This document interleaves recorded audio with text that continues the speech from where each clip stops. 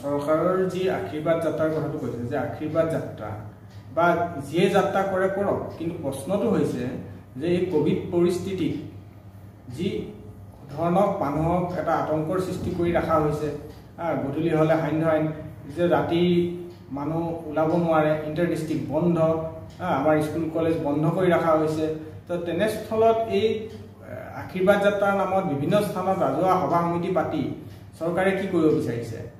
যে প্ৰকৃততে কৰোণা আছে নে কৰোণা নাই?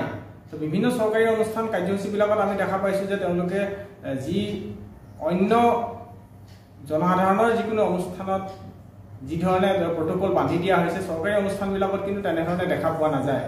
তো ইয়ে আমাক এটা সন্দেহলৈ ঠেলি দিছে যে প্ৰকৃততে এই মুহূৰ্তত কৰোণা কিমান ভয়াৱহ। এই গোটেই কথাবিলাক। আজি যদি আমি সৌ সিদিনাখন চাওঁ কেৰেলাৰ গাড়ী আহিছে বিহাৰৰ পৰা বাছ আহিছে কিন্তু আমি আজি গুৱাহাটীৰ পৰা আজি নগাঁও শিৱসাগৰলৈ বাছবিলাক আমাৰ স্থানীয় যিসকল লোক আছে যিসকলে এই ব্যৱসায়টোৰ লগত জড়িত সেইবিলাকক বন্ধ কৰি ৰখা হৈছে। ই কেনেকুৱা ধৰণৰ নীতি? তো এই যে আজি ইণ্টাৰ ডিষ্ট্ৰিক্ট বন্ধ বাছবিলাক মাত্ৰ বন্ধ। কিন্তু আজি আমি ৰেলত দেখা পাইছোঁ যে ৰেলত যি ধৰণে যাত্ৰী অহা যোৱা কৰিছে ঠেলা হেঁচা কৰি এইবিলাকত প্ৰকৃততে কৰোণাৰ প্ৰভাৱ আছে নে নাই? আৰু আপুনি যিটো কৈছে যে আজি ৰথ যিটো আমাৰ আশীৰ্বাদ যাত্ৰা আশীৰ্বাদ যাত্ৰা কৰে ৰথ যাত্ৰা কৰে আৰু কিবা কৰে তাত আমাৰ ক'ব লগা নাই যে প্ৰকৃততে এটা বস্তু জনসাধাৰণক তেওঁলোকে ক্লিয়াৰ কৰিব লাগে যে প্ৰকৃততে কৰোণাটো এই মুহূৰ্তত কি পৰ্যায়ত আছে?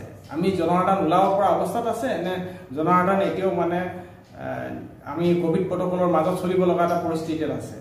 কাৰণ আজি আমি যদি কিবা এটা অনুষ্ঠান পাতিবলৈ যাওঁ চৰকাৰীভাৱে আমাক সেইটো পাৰ্মিশ্যন দিয়া নহয়। আশীৰ্বাদ যাত্ৰা কৰি চৰকাৰে তাতে পাব্লিক গেডাৰিং হ'ব। তো ই ইয়াৰ পৰা কি কভিড মানে মানুহলৈ নিবিয়পিব নেকি যদি তাৰ মানে কি? যদি সভা সমিতি চৰকাৰীভাৱে পাতিলে কভিড নিবিয়পে তাৰমানে কভিডৰ প্ৰকোপ বৰ্তমান নাই। যদি নাই তেনেহ'লে জনসাধাৰণক কিয় এনেধৰণে বন্দী কৰি ৰখা হৈছে?